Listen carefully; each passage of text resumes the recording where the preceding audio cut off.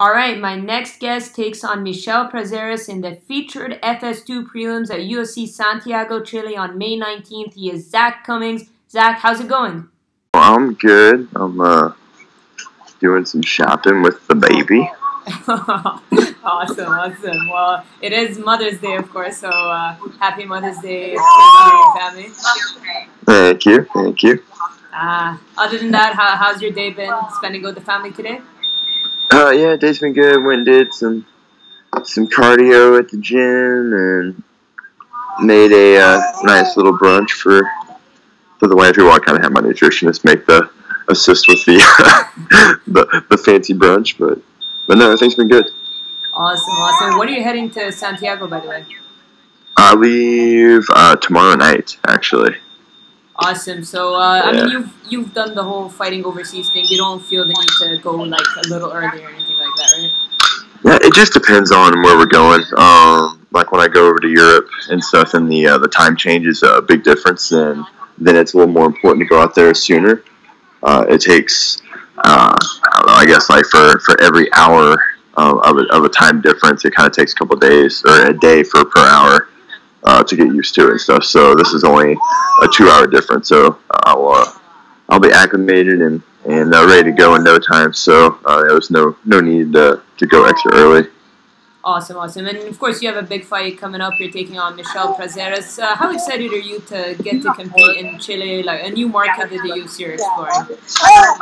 Uh, I'm extremely excited. I, uh, I, I love traveling. I love being able to, to fight and do what I you know uh, do I do overseas and, and meet new fans and, and make new fans, uh, you know, everywhere else, especially, and, and just kind of learn different cultures and stuff. Oh, sorry. Uh, so it's one of those where I'm going to places I don't know if I would ever travel to. Um, you know, outside of this, it's, it's been pretty amazing. So it's just kind of one more, one more thing, and then uh, I feel like I've been on multiple of these cards. It's uh, the first time the UFC's been there, so it's kind of feel like I'm obligated to to put on an extra special show, I guess, just to uh, to prove, you know, that uh, what we what we do is, uh, you know, it's kind of a little special for him being the first time there. Awesome. And and before we talk about the matchup, I mean, last time out you were scheduled to take on Thiago back in January, but you were forced to pull out because you slipped in the bathtub, injuring your skull. Uh, your skull, a very unfortunate and pretty scary moment for you. How hard was it for you to pull out because of such a freak accident, but also a dangerous one that you have to be careful about? Yeah, it was. Uh, it was very hard, uh, difficult. It's one of those where, um, you know, it, it, was such a dumb thing that I split my head wide open, and uh, I mean, I took a pretty hard, you know, very hard shot to the head, but uh, the the scar and uh, all the stitches and stuff. Not scar, all the stitches and stuff I had to get. That was the kind of the biggest deal. But uh, I, I, actually I wanted to continue to fight. I wanted to, I was really close to Wade. I just wanted to keep going. And uh, Maynard stepped in and saw the gash in the back of my head. He's like, "Yeah, there's no way you're gonna be able to fight." So they they pulled it, and it uh it, it just sucked. It's been it's been a long time since I've fought. Uh, you know, I've I've got some. Uh, a couple good wins that I'm, I've been coming off of, and it's just one of those where you know the I had the baby. Um, I basically missed the first 12 weeks of her life training for that fight and just kind of getting ready, and then. Uh, not that anything ever makes it that acceptable or, or okay, but I felt like even the the validation for it was taken away from me, which kind of made it a little bit harder. So that was that was the hardest part. You know, plus it was it was a big name, someone who I've been a huge fan of uh, my whole career, and I was really excited for that fight. So just kind of losing that whole opportunity was it was terrible. But you know, the the injury hit my head like that. It it, it could have been much much worse. So happy I was healthy and and able to get right back into training, and, and uh, just kind of took until now to finally get into the fight. But I've been begging uh, since since I hit my head. So uh, I'm just excited to get back in there and uh, finally get to perform. I've, I've had a couple uh, uh, a couple fight camps where I haven't got to have the fight, but just done all the, the prep work. So we're uh, hopefully now I have this one and ready to get going. And like, what was the recovery process like? Was it a cut? Was there any like damage to, to your actual skull, or was it just a bad cut? Uh, it was. I mean, it was just. Uh, I mean, I hit my head really hard, the back of my head, and kind of uh, me, and uh, but it was mainly the stitches. So I had I had to get multiple stitches in the back of my head because it was I mean it was the, the it was a big cut gash that was almost to the skull. And uh, the yeah, but the uh, the bone was ended up being fine. You know, they had to do X-rays and all that kind of stuff. But uh, yeah, I mean, it was just a really bad cut. You know, a lot of stitches, so they wouldn't let me fight with stitches, and and plus, you know, getting the back of your head hit that hard. Uh, you know, they didn't want to chance any uh, you know, injury, know, head injury or something. So they wanted me to go ahead and take a little bit of time and, and let it heal because I was trying to get back in there immediately. And, you know, I talked to Dana right after the show and he just said, you know, that he gets it, it happens, so just kind of, you know, make sure, make sure I let it heal in that way. You know, if I jump in there try to too soon, you take the wrong shot, whatever, so happen. So. Yeah, absolutely. And were you hoping that the Thiago Alves fight would be rescheduled? Because, like you said, you know, it's quite a big. Yes. Yeah. Was, was yeah, there any chance absolutely. of that? Uh, I tried. Um, I, I, was thinking. I thought since uh, everything was cleared and uh, there was no like concussion and, and any of that stuff. Once I you know, I got uh, back and then uh, released from the uh, the ER and stuff, I was hoping that they would be able to push it back pretty soon. Uh, and then you know they end up giving uh, Thiago a different fight, and you know it wasn't me. They let him get through there, and uh, so I mean, yeah, I lost the I lost the matchup. I was really hoping to keep it.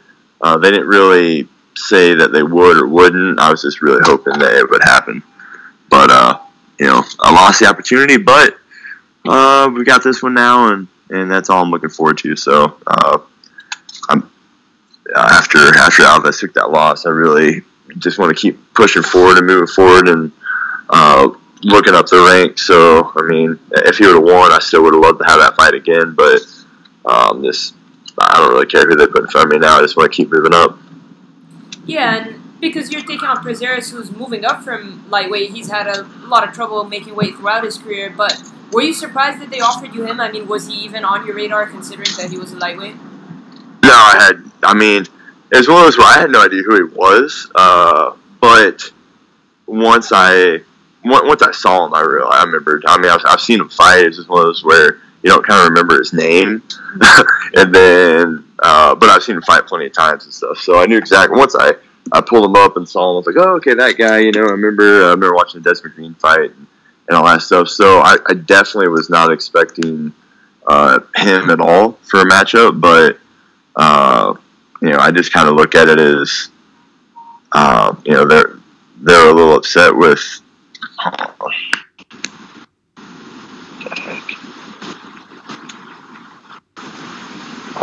Did I lose you? Or still there? Sorry, my friend just decided to start playing music. uh, uh, yeah. So, anyways, it was one of those where uh, I, I just kind of looked at it in a positive thing. I was like, well, you know, he's a he's a 55er that that's not making weight, and they're going to make him go to 70. And not only that, they're going to put him with the, one of the biggest, strongest 170 pounders out there. So um, I just figured they're, they're using me as a tool to, to prove to him he needs to make 55. So that's kind of what I'm going there doing to show him that I'm the, the bigger, stronger version of him, and and you know, just much more well rounded. So kind of see how it goes. Yeah, I mean, because he's he was on a nice streak, a, a, a, lightweight. So he, you know, a win a win over him is also like even though this is his like welterweight debut, but it is something because he like he people have been paying attention to him because he's been on a nice like I think four or five fight win streak. Yeah, he's uh yeah he's done. Uh, he's doing very very well at lightweight. Um, I, I just think. Uh, I don't know how his style is going to transfer up to welterweight It's the thing. He's one of those, uh, you know, power power takedowns, power jujitsu. Um, just really tries to, to muscle people over, overwhelm them with uh, with his size and, and power and all that. And I just I don't think he's going to have the frame and the, the size to be able to do that at uh, at welterweight. I just don't. I mean, there are some of the smaller guys that he might be able to, but uh, you know, he's one of those where he throws everything he has into striking. The the average size and height and everything of a lightweight is is a little bit smaller than welterweight, so uh, he, he's going to be giving up more reach, you know, more size, more strength. I, I just uh, I mean, he, he's good. He's a talented guy. He's uh, he finds ways to win. Uh, you know, he doesn't really get tired. He's just uh, he, he's definitely a tough opponent. I just don't I don't think what his skill set is is going to transfer over to, to welterweight very well, especially against welterweight like me. I see, and and like when you look at this training camp, I mean, how do you usually go about your training camps? Are you training with specific training partners, like similar size and frame to mirror Prazeres' game, or do you have a certain regiment that you go through uh, for every fight camp? Nah, a little bit of both. I mean, there's, uh, you know, I, if I look at southpaws or traditional stance guys, um, I, I, might, I might train or drill or, or go live with a little bit more of one or the other. But when it comes to a fight camp, I I'm always focusing on myself. I'm always trying to get myself better and uh, just keep evolving as an athlete in the sport. Uh, but you know, when it comes down to sparring stuff, I mean, especially him since he's, he's so much shorter than the average guy. You know, the five six and short and stocky and strong and uh, a very big pressure fighter. I mean, I, I will try to pick some of those rounds and stuff, but I've also got a bunch of high level guys that I train with, you know, like James Krause, who's the complete opposite of this guy, but uh, he's still going to give me a solid round. So, uh, I, you know, I, I will pick and choose guys similar to him, but uh, I'm, I'm definitely going to uh, do my own thing as well, you know, so I, I don't only go with that because, you know, he can – uh, I don't know. Something can happen, and he might be out tomorrow, and I might have a new opponent. So, uh, you know, I can't really just rely on on something like that. You know, that's these uh, opponents change all the time and stuff like that. And if I just focus on a five six guy, uh, you know, and then all of a sudden, you know, maybe something happens, he gets hurt, and they bring in a six six southpaw, then you know I'm kind of screwed then. So yeah. Uh, yeah, so I'm always just kind of focused on myself, and then I try to see what's coming at me, and I'll mimic it a little bit. But you know, it's like I said, when it comes down to it, it's it's all about me stepping in and uh, and putting my game on. Absolutely, and, and should you beat Prazeres, that would be two in a row for you. Uh, especially like we said, like he's he's a guy who's been on quite a streak. Do you feel it would be time for a ranked opponent next? I mean, would you say that would be your next goal? I mean, you know, Bill, moving up the ranks is always always my goal. Uh, and I've always, after every fight, I'm always saying I want to top, you know, top 15 or or something in there. I, you know, it, uh, a win over Prazeres could definitely do that for me. Uh, right now, I'm actually trying to focus on myself, and uh, I, have had dumb injuries. I've had just little things in life kind of happen. Uh, so I've I haven't been the uh, as active as I, I, would love to be. And stuff I've had, you know, I haven't fought in a year. Um, sometimes I, I, get three fights in a year. Sometimes I only get one or two.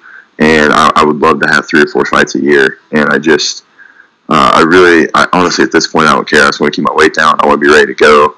And if the next opponent's not ranked, but I can fight in a few months and, and still get three fights this year, then I would love that. So I just want to, I want to stay healthy keep my weight down and uh, and and stay active and stay relevant. I feel like if I do that, then the uh, the rankings will come. Absolutely, and you do a lot of coaching at Glory MMA Fitness. I mean, Megan Anderson is making her debut a couple weeks after you fight. I spoke to her a couple weeks ago, but what can you tell us about how she's been looking? I mean, Megan's a beast. That's all there's to it. There's uh, she she's very very precise power striker, and there, there's not many women out there that, that hit with the power that, that she has. And it's one of those where, uh, I, she, I don't know, I, I feel like, you know, she, she's had some time off, and I'm excited for her to show the, the mass amount of, uh, oh, sorry, some, um, you know, just basically, I mean, how much she's improved. You know, the, the mass amounts of improvement she's she's made in her game. Uh, you know, she's she's getting much much better on the ground. Her striking is just amazing. You know, her clinch game is the takedowns, wrestling, everything is just getting better and better. Uh, so knowing that she's immediately stepping in, fighting the top girls in the world, uh, you know, we knew that she had to be at that at that point as well. You know, and it's I, I feel like she's gonna, she's going to shock a lot of people. I feel like you know, people's gonna be like, oh, you know, she's making her UFC debut and all this stuff, but she has absolutely everything every every tool there is to go out there and finish Holly and, and with a something devastating.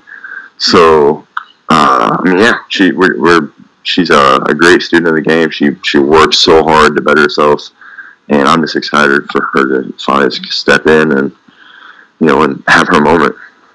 Very nice. And hearing you speak, I mean, I can tell that you really enjoy the coaching aspect. I mean, is that something that you see yourself doing long after your MMA career? Is oh, absolutely, yeah. absolutely. I love coaching. It's uh, it's one of those where you know I, I know that I've only got so much longer. Uh, you know, as as my career goes, I, I don't know when that is yet. I mean, I'm just kind of going with how my body feels, but I still think I got a, a good amount of time.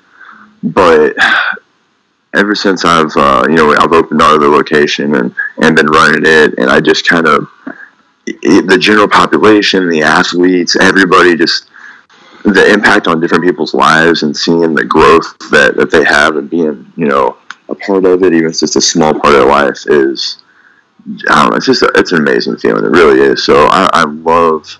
I love coaching. I love helping people and others, and helping others reach their goals, and and being a leader and being a mentor for people. So uh, it's something that, that I will always do. And um, I mean, I, have got other stuff on, in business I would love to uh, to do, um, but but being in the gym and, and coaching and stuff will always definitely I'll, I'll find time for it. Awesome, awesome. Well, Zak, you've been very generous with your time. so I know you're busy out with your family, so I really appreciate it. One last thing, how do you see this fight with Prazeres playing out? How do you get the drop done? I mean, you know, he, he's only lost twice. He's never been finished. But but I'm that guy that, that finishes people that, that don't lose. And I've got too many dangerous tools. Uh, I've got too much power. Um, I'm very solid on the ground. I know he is too. I, I just uh, I just see the, the strength, the size, and, and my skill set overwhelm him and uh, and break him down. And then I see me finishing him. I don't know if it's uh, if it's a knockout or or a submission. But I know he's a high level jiu-jitsu guy. But if I if I hurt him with the power that I have, I can submit anybody. So uh, I, I, see a finish. Um, I, I, see probably a second round finish. Break him in the first, finish him in the second. But uh, you know, we'll, we'll see how it goes from there. All right, awesome, fantastic stuff. Of course, you can catch Zak Cummings in the featured FS2 prelims May 19th in Santiago, Chile. Zak, thank you so much for your time. I really appreciate it. Have a lovely day with your family and safe travels to Santiago tomorrow.